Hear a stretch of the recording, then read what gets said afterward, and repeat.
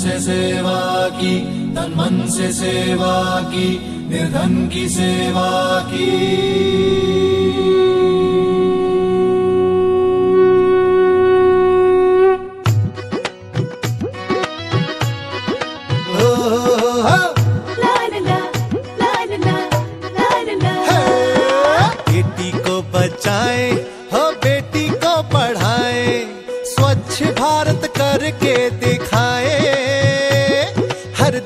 रखी बात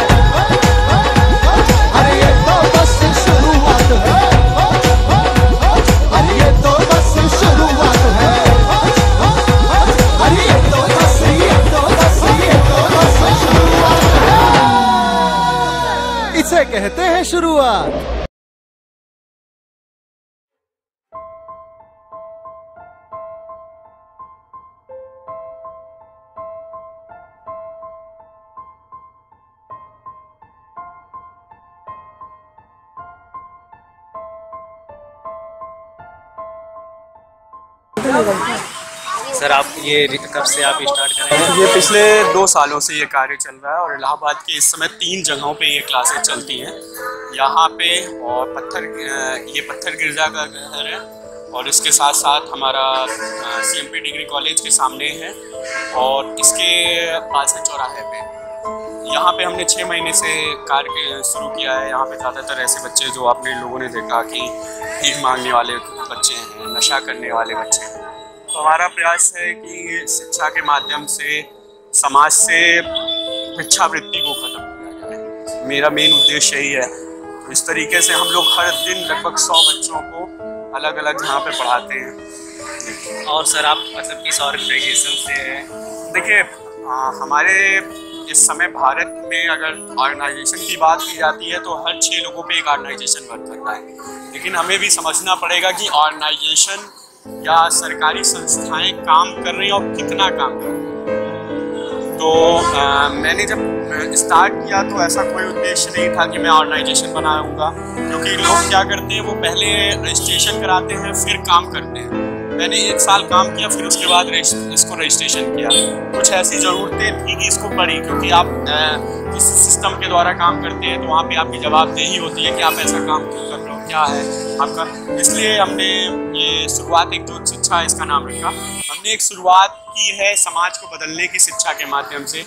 हमने शुरुआत की है शिक्षा के माध्यम से जो लोगों ने एक जिम्मेदारियाँ सीमित कर दी हैं, वो क्या कर रहे हैं? अपनी जिम्मेदारियाँ एक रुपये दे करके ख़त्म कर रहे हैं। तो बहुत से लोग आप लोग कहते होंगे कि क्या कहते हैं ये बच्चे इसके आदि होते हैं। मेरा मानना नहीं ऐसा नहीं होता।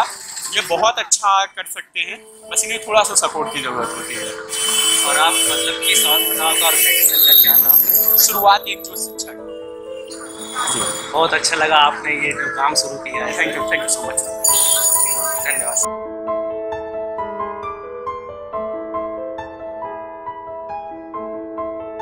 सर मुझे करीब यहाँ पे आठ से नौ महीने हो गए। जब मैं इलाहाबाद में आया था तभी हमने शुरू किया था। और इलाहाबाद में बेसिकली हमने बनारस हिंदू यूनिवर्सिटी से पी से अपना ऑनर्स किया था पॉलिटिकल साइंस और यहाँ पे मैं सिविल सर्विसेज़ की तैयारी के पर्पज से आया था।